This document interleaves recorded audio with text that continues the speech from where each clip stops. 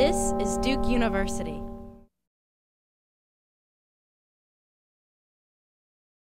Two Duke students were part of this year's biggest find in anthropology.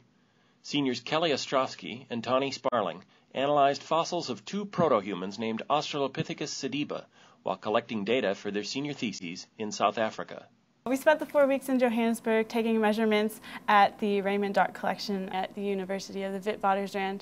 We were compiling a database of modern human um, skeletal measurements related to our thesis, so I was working on the lumbar vertebrae and the sacrum. My senior thesis that I'm working on is titled The Shoulder of Australopithecus sediba, and it's basically about the biomechanics, evolution, and locomotion of the shoulder joint.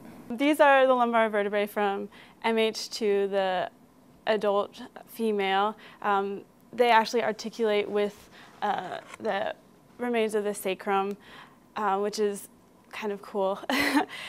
uh, so we know that these are the ultimate and penultimate lumbar vertebrae. I'm working with a full scapula for Sediba, and all of the other specimens that I'm working in is just bits and pieces, and it was just, it makes you really appreciate what Sediba has to offer.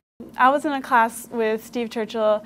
It was a human evolution class. And just at the beginning of the semester, I asked if I could volunteer in his lab. At first, I was just painting casts. But then towards the end of the semester, he asked if I would like to get the opportunity to go to South Africa, possibly over the summer, um, and start a project for my senior thesis. So I got involved with this project also through starting working with Dr. Churchill after taking a class.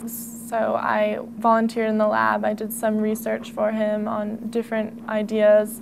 I had taken osteology beforehand, so I was really interested in, in bones and their morphology and and why they're shaped the way they are, how that relates to function. Going to the site was a really fun experience. It was the first time I had been at an archaeological site. It was amazing that it's just this hole in the ground right now, but so many amazing things have come out of it. We used a, a grant, a summer fellowship grant, in order to pay for our trip this summer, and we also have more opportunities to get more support from Duke. It was a really great experience to see uh, maybe how I could fit into that type of work in the future.